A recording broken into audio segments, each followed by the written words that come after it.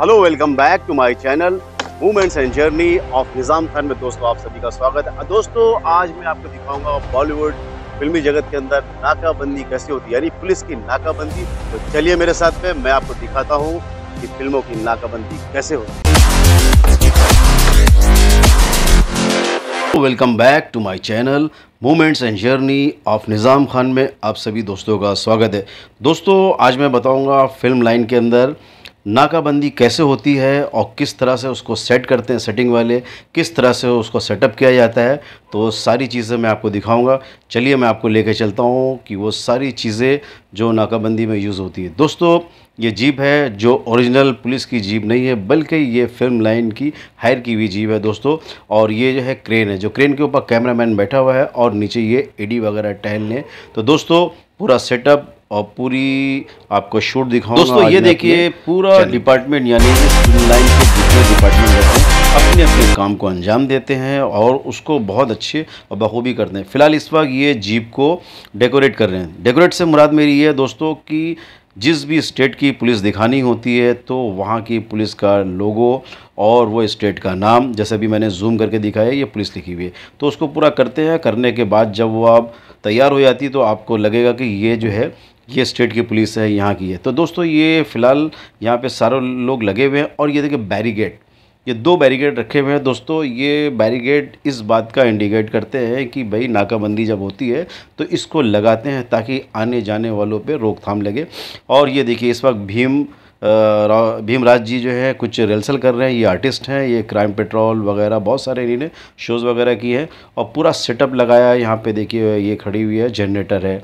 ताकि पावर इसको मिल सके और ये अपने शूट को बखूबी बड़े अच्छे अंदाज में कर सके।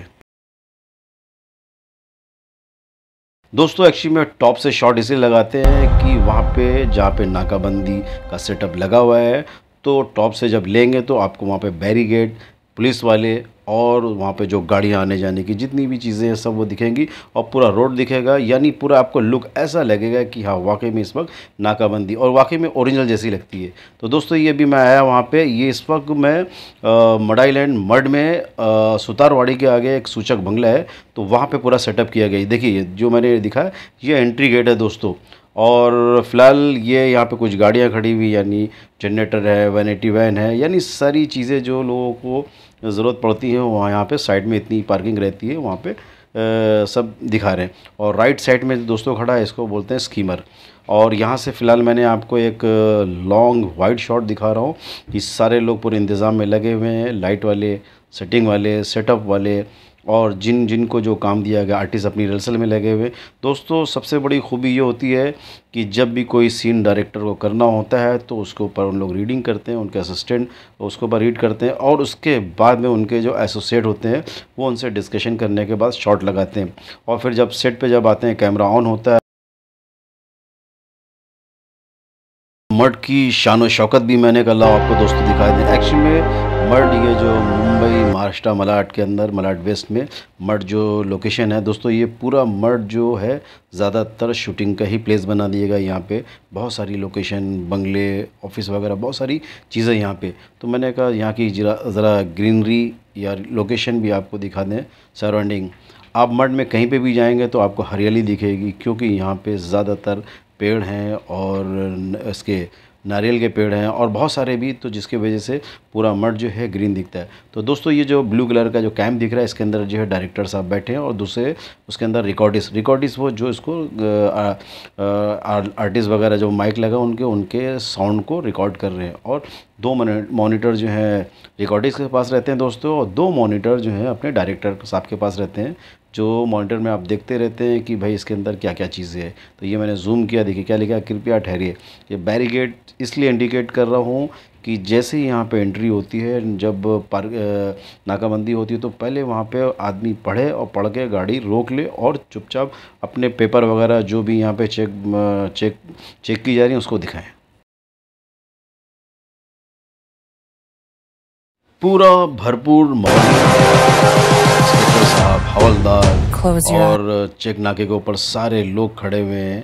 अपनी अपनी गाड़ियाँ लेके। ये देखिए कैमरा मैन भी खूब रफ्तार से जो है कैमरे में शॉट ले रहे हैं और उसको जूम कर रहे हैं और साइड में ये फोकस प्लर भी जो फोकस ले रहे हैं कि आर्टिस्ट जो आ रहे हैं तो उनको भी ये फोकस करना है। ये कैमरा मैन है और दोस्तों, ये देखिए, ये फ़िलहाल अभी जो है, वहाँ पे क्या ज़रूरत पड़ रही उसके लिए जाके वहाँ पे अभी रेलसल वगैरह चालू है और मैं दिखाता हूँ अभी आपको कि ये देखिए, ये कैमरा मैन को मैंने दिखाया, इनके पास जो कैमरा होता है, इसमें लेंस बड़े ही ज़बरदस्त होते हैं। यानी कितनी भी दूर पे आर्टिस्ट अगर होगा तो लेंस चेंज करते रहते एक लेंस से काम नहीं होता दोस्तों, कई लेंस चेंज करना पड़ते हैं।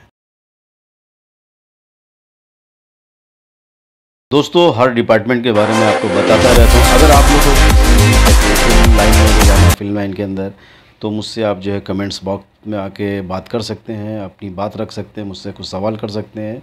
और दोस्तों, इसी तरह से मैं आगे कुछ भी दिखाता रहूँगा।